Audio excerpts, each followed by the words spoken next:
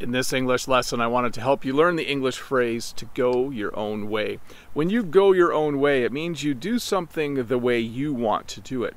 A lot of teachers will create lessons and they'll make handouts and they'll give them to their students, but sometimes I decide to go my own way.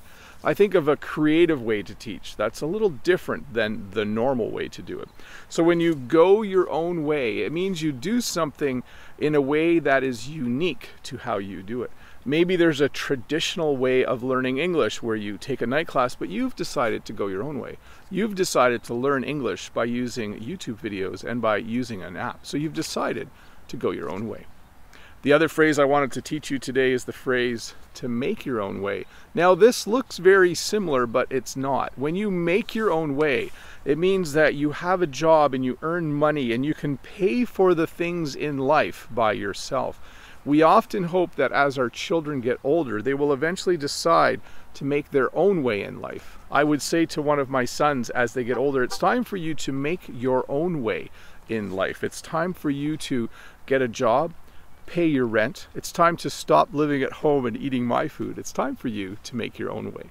So, to review, when you go your own way, it means you do something in a way that you thought of. So you've decided you're going to go your own way and you're going to walk to work instead of driving like everyone else.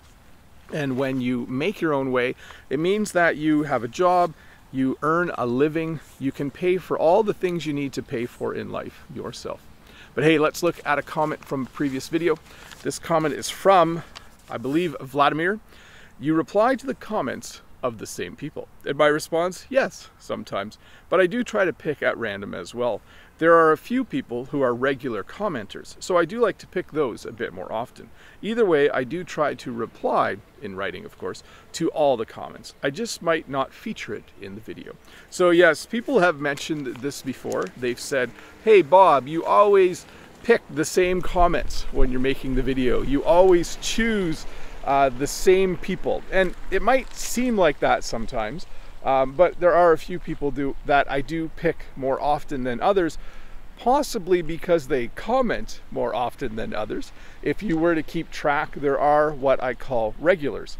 People who come to this channel, watch these videos, and leave comments almost every time I make a video. And I really like people who do that because I get to know them a little bit as they ask questions and as they share a little bit about their own life, uh, I share a little bit about mine and we become more of a community. So thank you to all of you who do that, who comment regularly. I do appreciate it. It makes this a little more fun for me. So I'm here at what's called the community center, but it's also the arena and the library and there's a basketball court if you want to do that as well you can come here and hang out. Jen and I were actually here last night. Uh, we came to the library to get a few books, so that was kind of fun. Uh, and if you look over there, um, I think a couple of the police officers in my town are having a little meeting. Uh, they're parked over there, I guess, just briefly to talk about what's happening in the town, possibly. Maybe there's something going down that they have to go and investigate. Um, or maybe they're just having a cup of coffee and talking about the morning news. Who knows? anyways, it's good to have law enforcement. It's good to have law and order in a town. I do appreciate that, except when they give me a speeding ticket. Then I don't appreciate it as much. Anyways, Bob the Canadian here, another little English lesson. A nice warm January day again, but oh well. Anyways, see you in a few days with another short English lesson. Bye.